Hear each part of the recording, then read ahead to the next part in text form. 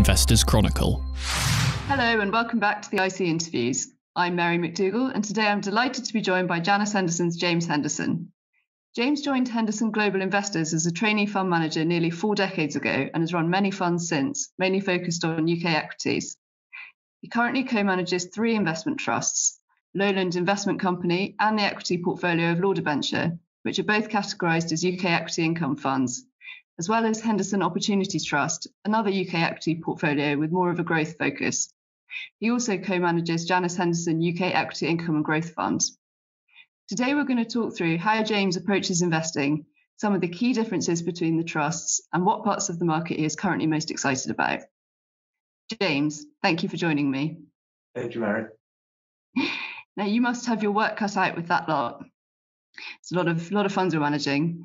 You're frequently cited as being a so-called value or contrarian fund manager.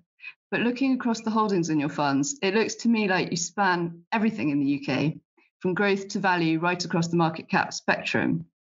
I wondered how you might describe your investment approach. Do, do, you think in terms of value versus growth, or are you naturally opportunistic between the two?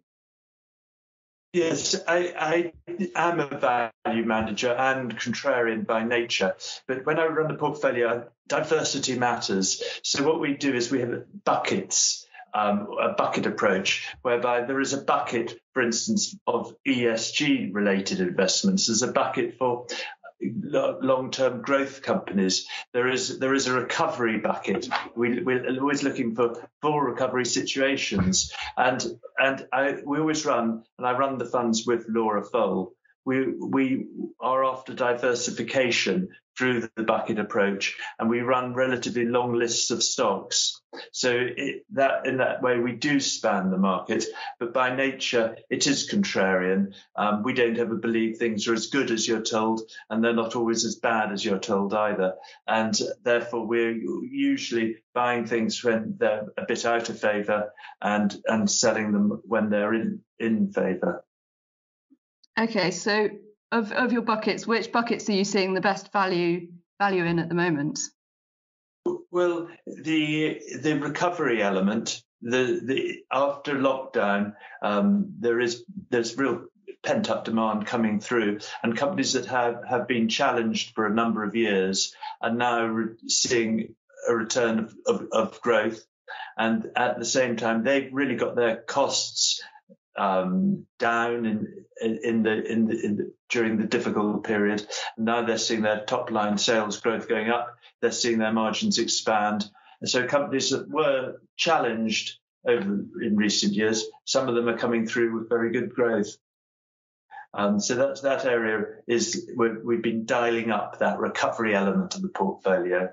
Uh, at the same time, there are there are new companies coming through in the UK, and that's exciting. Um, so the, it's it's broad. The um, what we're doing at the moment, we're looking at, at small, medium, and large companies, um, and the balance between them is has been altering a bit. Um, we, reduced some of the medium and smaller companies to buy the some of the larger stocks. Um, but on the whole, um, our turnover is is relatively low, um, and that that way um, we we are taking a long term view on the companies we're buying. It's interesting. Could you give some examples of the names of, in the recovery area that you're that you've been buying? Yes, um, of the, in the large company uh, company stocks, um, Marks and Spencers, for instance, has been um, hasn't been in, the portfolio um, any of the portfolios until last year, um, and we've been buying it pretty, over the last year, building up the holding. Uh, another area is is banks uh, in the big companies. Um, the banks. Uh, I think the over the last year there's been a clarity and a focus coming out of the management of uh, the big UK banks that is leading me to think that um, they're on a recovery tack.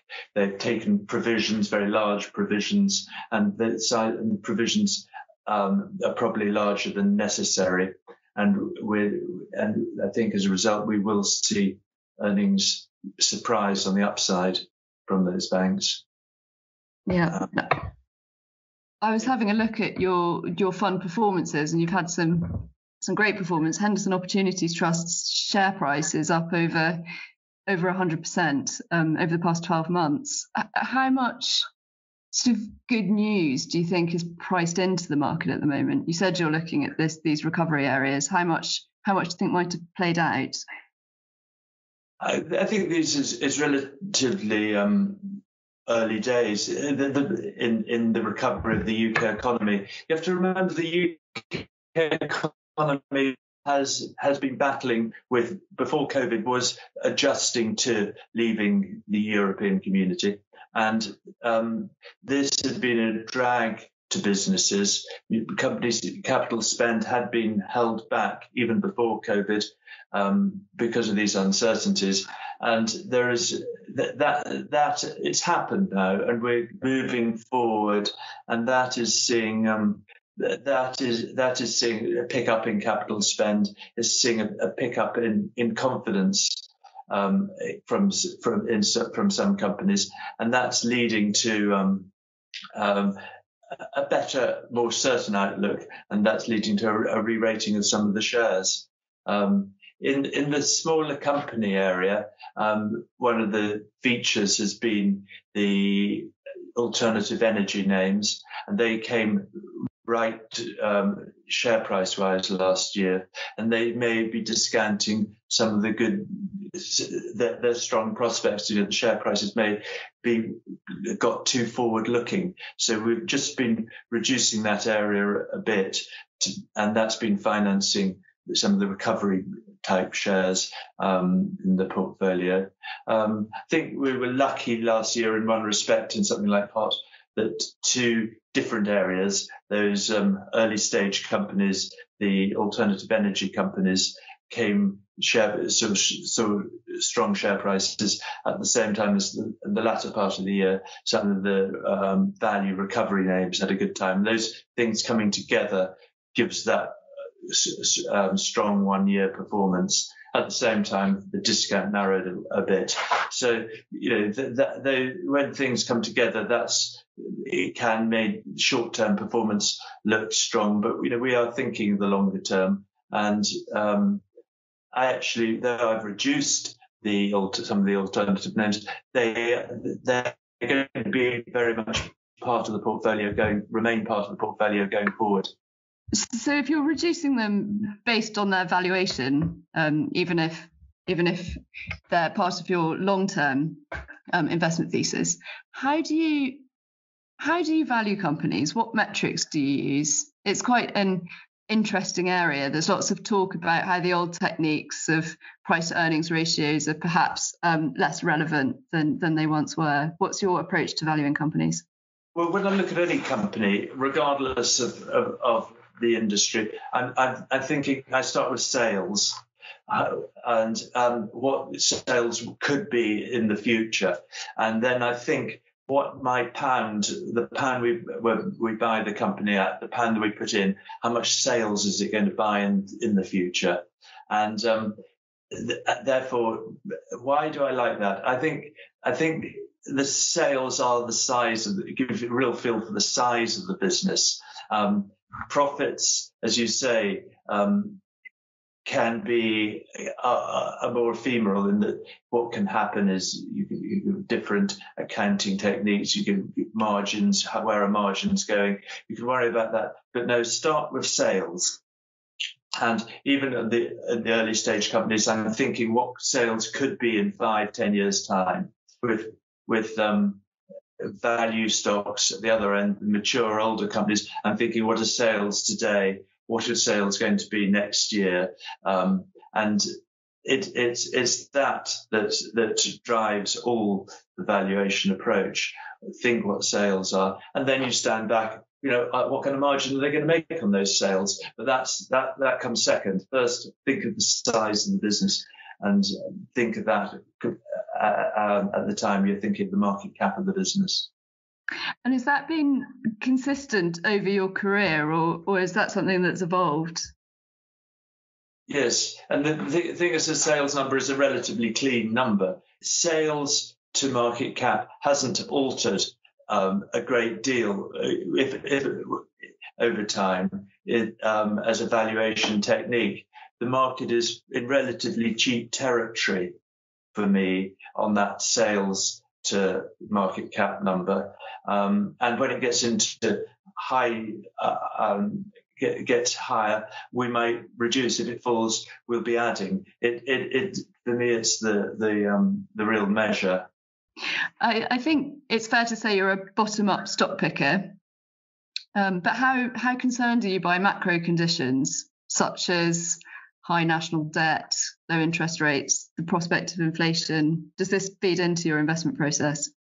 Yes, it, it, it must it must colour, but um, it's very difficult to um, add value. There are a lot of clever people that are thinking about these issues and how you how are we going to add value when there are all these these clever people doing it. What we're trying to do is pay attention to things people aren't paying attention to. That's how we can add a little bit of value. And in small cap, when no one is really covering the stock properly and we we we pay attention to it, we can add value. And in, and and the same in medium and large companies. Every so often analysts take big macro views and they don't actually pay attention to what the company is doing, what the company is actually saying.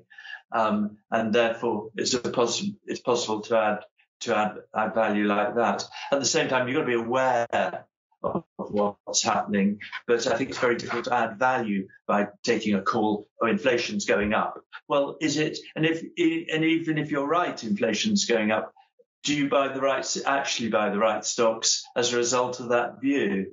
It's, it's we prefer to be seeing if the company is improving if the the management's really addressing the issues at hand. Um, we find that an easier way to to uh, add marginal value. Um, I've, been lucky in, in, in investment trusts in that the boards allow me to take that longer view. So we'll always be moving a bit early on, on a company and adding to the position slowly.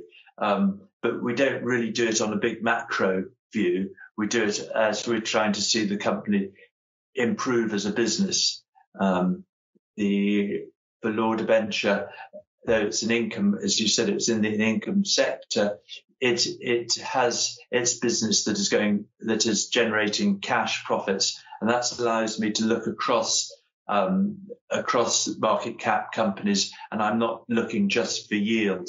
I'm looking for companies that may, in two or three time, two or three t- years' time, be paying good dividends. They might be paying no dividend at all today, but they are. We, we think they will improve generate cash and pay a dividend in the future. And Marks and Spencers would be a, would be a case in point. This is we're buying Marks and Spencers not on some big idea that UK retail, UK consumer is going to boom or whatever. No, we're doing it because we think management is slowly addressing problems that have been there for years. Actually, during this the pandemic, they have moved quite fast to reduce their cost base, the, uh, reduce the number of stores, and that places them for um, for a marginally improved economy in time, um, but it's not dependent on that improvement. It's dependent on management action. Yeah. Well, you touched on the income there, which is a, a really important area for for lots of our listeners, I'm sure. Um, so the majority of the funds that you manage have an income focus. Both Lowland and Law Debenture increased their dividend uh, last year despite uh, quite a substantial drop in dividends received. In, in the case of Lowland, um, I think half of the dividend paid uh, was out of reserves last year, according to the annual report. Um, to what extent does this inhibit your investment style, having to go after dividends? Um, it, it's, a, it's, a, very interesting question that because for a long time um, um, dividends were a good valuation technique, and I think they will be again sometime a good valuation technique. But in, recently they haven't been. Why were they a good one? They were a good one because companies that companies that um, pay dividends um, are gener- usually companies that are cash generative. So as a fund manager, it points you towards cash generative that, and they're higher yield because they're a bit out of favour. Um, and that means that when they come back to favour, you, you get capital appreciation. So it points you in the right direction. But but when there's a big break, something like what happened last year, those the the cash generative companies get challenged when they their sales fall and the dividend hasn't guided you in the right place. Um, I, I think I think income investing goes through these phases when value the valuation of using dividends doesn't work and then it come it'll come back again some some other time. I think I'm I am fortunate that the the investment trusts Laura and I run have got large dividend reserves, revenue reserves, and this allows us to think about what the earnings, what the dividend payment of the company is going to be in two or three years' time, rather than what the dividends are today. And it's about the growth of income rather than absolute income that, that's important. So um, at the moment, I'm not pushing. We're, not pushing for high dividend paying companies. We're, we're thinking what dividend is going to be further out. That makes sense. Um, and dividend level. Yeah, and Law Debenture is an interesting one because you have more of a, an option to invest overseas. So your latest fact sheet says that the portfolio has 82% in the UK, um, but the investment policy says up to 45% can be invested overseas. Is this because you see value in the UK relative relative to elsewhere in the world? Yes, the, the UK market's on a lower, lower multiple than than other major markets. It's been it's been out of favour um, since really since June 2016 and the Brexit vote. With with quite a lot of overseas selling of the UK market as a result of that. There's there's uncertainty um, that and capital flows towards the UK um, dried up um, that, that that is beginning to to reverse um, and beginning to see overseas buyers come into the UK. The, and for a value guy, the uh, value investor, the um, over, corporate activity is is coming in, which is giving uh, uh some confidence to people. So we are seeing bids for for UK companies, particularly from America at the moment. Um, I think they, they're getting very good deals. Some of these people that are coming over and buying UK assets, um, their, pay, their, their companies are probably more highly valued back in their home markets, um, and so they are using the coming to the UK and taking an opportunity. But that that that is helping the overall market in the UK. It's reminding people of the, the value that's there. Yeah. I wondered um, how much overlap is there between the trusts and how do you pick which companies go into which one? Um, well, I like to think each of the um, investment trusts has got its own distinct character. It's um, there. I think for an investment trust to, to, to exist, it needs it needs to be adding doing something different, something special. I like to think they're all bespoke portfolios. Um, so for Law Debenture, it's got uh, the longest list of stocks. It's got, it's got about 130 holdings. It's it's like a, a one-stop shop if you want to buy UK the UK market. So it, it, it it's it's very broad. Um, it's got good quality names that are more highly rated as stocks than than than there would be in the Henderson Opportunities or Lowland portfolio. So companies like Smith and Nephew or Toyota are in are in are in that list, um, and it's got a lower tracking error to the market than the other two portfolios. It's got this very successful business of its own. So we, we don't need to be taking higher level of risk for it to be um, a company that that is that is unique and can can add value. So if anyone wanted just one share in the UK market, one company, it would be we like to think Law Debenture would, could be could be that. Um, whilst the other extreme is is Henderson Opportunities Trust. This is a special SITS fund. This should be a, an adder to a portfolio. This is higher risk. This runs much higher active share, much higher tracking error, um, and we're usually more highly geared with it. It's got much. It's got um, 70 percent, 65 percent of the portfolio is is on is AIM stocks. Um, and because that's where we're seeing value, we will reduce the AIM stocks if if if the value if we, we weren't finding um, opportunities and value in the area. But at the moment, it's 65%. So it's it's I wouldn't. It, it's it'd be an addition to people's portfolio. It wouldn't be a cornerstone. It, it is a special sits fund.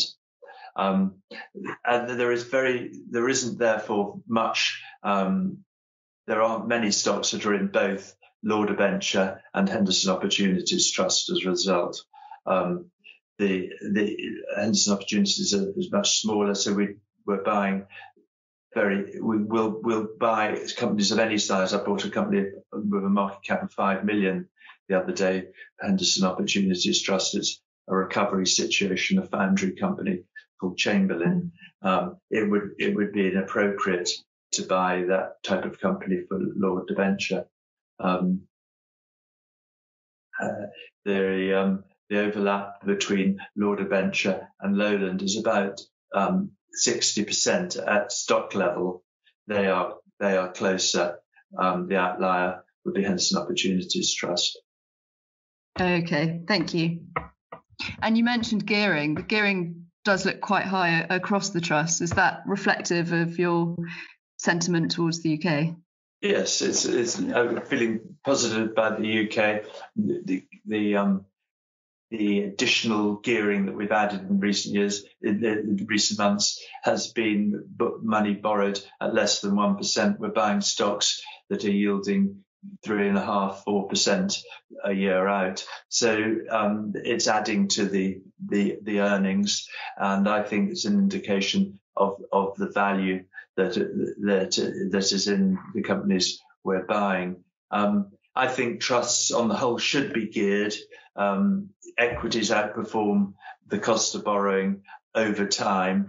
Um, I think you should run it up when when you see the opportunities and run it back bring it back when um, values values are are higher. No, but we'll never call the market correctly. It's we're just net buyers of equities at the moment, and when we're not seeing the opportunities, we need to be net sellers. We're not going to make some big market call. It's more just a direction of travel, and the direction at the moment is to be adding, to be looking for opportunities. Um, participating in rights issues, for instance, capital raises, um, there'll be some recovery um, situations. There will also be um, some capital raises for companies that are coming out of a difficult period, and we want to participate in those. Yeah. You mentioned that nearly two thirds of Henderson opportunities is in AIM. Do you worry about what a change in tax rules might do to the AIM market? That's sort of spoken about because they have this inheritance tax yeah. status break. Um, is that something that concerns you? Oh, it excites me actually. Go on. uh, I think you know. It, I think it would fall. We would see some some falls in prices, and that would be that would be the opportunity. It, it is one of the privileges of running closed-end money, um, which an investment trust is. You don't get the money out. You don't get the money in in the same way as you do with other funds. So something like that would lead to a sell-off in certain areas. No doubt about it. I think if there was a, really big um, change in inheritance tax rules, and that would be exciting. I'll be in work that day um, and, and, be looking for looking for things to buy, and that. that that is the privilege of investment trust money that you know you can we we can borrow we could buy on those like that knowing that we're not going to get money out um, that we've got that pot and we can really st- step up in, in, investing because a good company yeah. is a good company. It's not it's not it's not tax breaks that make a good company. It's it's it's service to the customer. It's quality of product. It's the excellence of the company that that people are some people are in there because they've they've got a tax break is is all well and good, but it's not it's not it's not important in the in the, the medium to long term for the for that business. Yeah, yeah. Um, now we've spoken a bit about some individual companies, and that's lots of our listeners are, are interested specifically in stocks. And you're in the market of trying to spot mispriced companies. Um, could you just tell us about one or two of the smaller cap um, firms that you're most excited about right now? Yes, um, one that's across the portfolios is um, an early stage company, Ilika. It's it's batteries, solid state batteries. This it, it is making progress, particularly in very very small batteries um, that could go into lots of different uses. Um, it, it's also working on this Goliath project, which is batteries for the automotive industry. It's it's early days, but there are some promising signs there. It, it would the prize is huge if you could get get um, that right.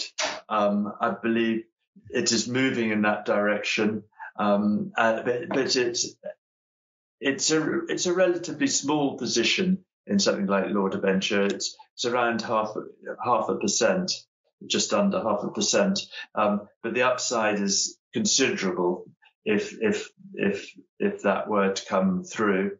Um, it has been strong share price wise over the over the, the last year. Um, but it's a long term story, and there will be volatility on the way. But that, that's the kind of business that is that uh, that is benefiting from this decarbonisation, moving away from fossil fuels. Um, the the battery is going to be really a big part of that story. Um, we are in several companies that will be part of the decarbonisation of the economy. Um, and that area is going to see some big stock winners and also going to be a lot of disappointments too. Um, you need yeah. a portfolio approach towards it, but but one of the companies you've asked me for one company in that area, so I've gone for Ilika. Thank you. And at the other end of the spectrum, Shell and BP are not going to not obvious beneficiaries from decarbonisation of the economy. Um, they both feature as holdings across your income portfolios, although it does look like you've trimmed them. What's your outlook for these firms? Um, I believe they are part of the story. Um, I think the infrastructure a company like Shell has got can make the uh, move for decarbonisation possible. It will be in the Shell filling station that you that you will be recharging your battery in time. Um, they uh, will spend considerable amounts on alternative energy it, uh, going forward. I think something like Shell, the rebasement of the dividend has been an important and is good for the company in the medium term so that they're freeing up capital to spend on the alternative energy um, area. Um, but there'll be a long, but it's a long, it's a, it's a, a long road and we will need oil uh, for the foreseeable future. The debate is how fast you go, you progress down there. And I think Shell is moving in that direction. I think it's moving at a, a pace that is surprising me that a year or two ago, I wouldn't have thought it would have moved as quickly as it has towards alternative energy. I wouldn't have thought the amounts they were spending in that area were as large as they they are at the so uh, I, I no I think I think um, dialogue learning about how they see that move how they see that from from fossil to alternatives um, is is important and it is happening. Yeah. Another company that features across the portfolios is GlaxoSmithKline. Um, which has got some interesting activity at the moment with activist investor Elliott building up a stake. Um, I read that it's been underperforming in R and D, um, and it's gearing up to spin out its consumer health business. How do you feel about the investment case for the company currently? Um, I, I, think the R and D uh, goes through cycles. You know, people within a company, people have periods where they're successful, and then there are periods where um, it appears nothing is too many things fail, and I think um, and that changes over time. And I think we, we, shouldn't be surprised if we hear some successes going forward. Just it's just a question of probabilities of from their R and D department, and that change colours how investors see the company. And I don't think you're paying a lot for for what is in there. And I think there could be, you know, when we hear about successes from that pipeline coming through. Meanwhile, it's a big engine um, in the company, good sales, um, of course, um, and there are good good products. Um, so I think the valuation is relatively undemanding for what you're getting there, and you've got this option in there that that actually people begin to see, see some success emerging from their research and development business. And I appreciate this is out of your sphere, but I'd be interested to hear your take on it, as so many people in the UK are now dabbling in cryptocurrencies. Uh, do you think activity in the crypto space has or will have a knock on effect for the UK stock market? Is it something that you're following? You know, following it. Um, I, I, don't think I can add any value in it. Um, so I'm not participating. One of the things, you know, you should try as an investment manager to play to the few strengths you have. And I think um, I've got no insight. I can understand why I can understand the, the interest in it. Um, I can see people are worried about conventional currency, and you know, over time, different different forms of currency come along. You know, um, and we may be seeing a change from um, a change at the moment. But that said, I don't know, and I uh, I, I can't see how I would add any value in the area. Um, so I watch it. Um, and I'm, I'm, I'm, I'm not cynical about it, um, but I, it's too difficult for me. It's too difficult for me too. I'm afraid we're almost out of time. Um, as I was researching for this interview, I came across a number of articles on your boxing prowess. Um, I wonder if Hurricane Henderson has ever fought Terry Smith. I've seen Terry Smith in a gym, um, and I, I, I, don't think I'd want to fight him when I saw him in a gym. He was he was he was um he was really bat, hitting a bag hard. This was before, it was quite a long time ago. It was before the London Olympics. I remember him being in a gym and thinking, yes, and, uh, I, admired, I admired him for, for his the way he was training. And now I was, just, I, thought I might, might need to stay well clear of him. I thought. Are you still boxing now? Uh, no, I, I, I, I spar occasionally. I, I well, James, thank you so much for your time. That's been absolutely fascinating and really appreciate having you on. Thank you, Mary. Good to talk. Thank you. Thank you.